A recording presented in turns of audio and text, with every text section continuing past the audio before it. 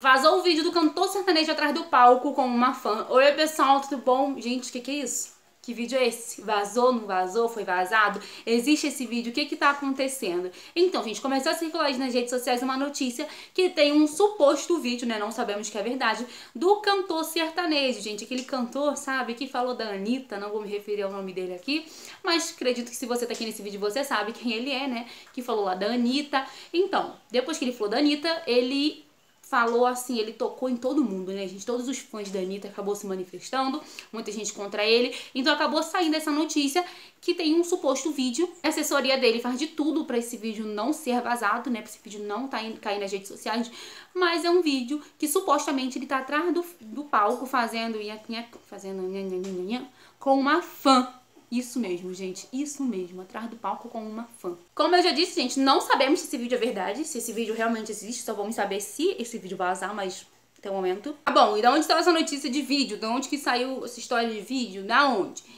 O jornalista Gabriel Perlini, do portal IG, soltou essa bomba sobre o tal sertanejo. Existe um vídeo dele com fã atrás do palco. Além de conversas em que mostrou o Zezinho por ADM a algumas moças. Detalhe, ele é casado e tudo isso rolou depois do nascimento do segundo filho. Então, segundo o jornalista, né, Gabriel, esse vídeo, essas coisas aconteceu depois do nascimento do segundo filho desse cantor sertanejo. Então, pessoal, o assunto aí está rendendo, né, muito papo, algumas tretinhas aí. Como eu já disse, que ele tocou ali no nome da Anitta. Ele não tocou no nome da Anitta, gente. Ele falou uma frase, todo mundo entendeu que era pra Anitta. E de fato era, né? Quem fez tatuar no toba? Anitta entendeu? Então ele se referiu à Anitta sem dúvidas. E a GK, muito amiga da Anitta, ela botou late mais alto que da onde a Anitta tá, ela não escuta, Mori. E esse cantor, gente, ele botou, não falei nome de ninguém, mas o engajamento tá top. Mete o pau. Desculpa não responder todo mundo, é que tenho 23 shows esse mês, a maioria esgotado. Então vou descansar aqui. Beijo, pessoal. Então a GQ ali, né, meio que se manifestou a favor da Anitta. Temos, gente, o latino, né? Que ele se manifestou ali a favor do cantor sertanejo contra ali a cantora Anitta. Na publicação, né, que tinha ali o vídeo do show e o vídeo desse cantor se referindo a Anitta, ele botou assim, bem isso, toma, parabéns, fulano.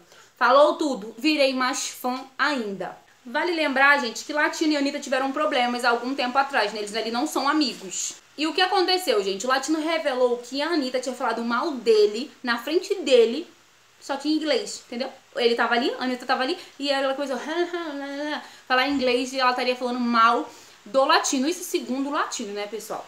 Então, gente, o que vocês estão achando aí de toda essa história, de toda essa situação? Pra você que não viu o vídeo, né, desse cantor sertanejo falando aí da Anitta, eu vou deixar aqui pra vocês bem rapidinho. Aqui em Sorriso, Mato Grosso, um dos estados que sustentou o Brasil durante a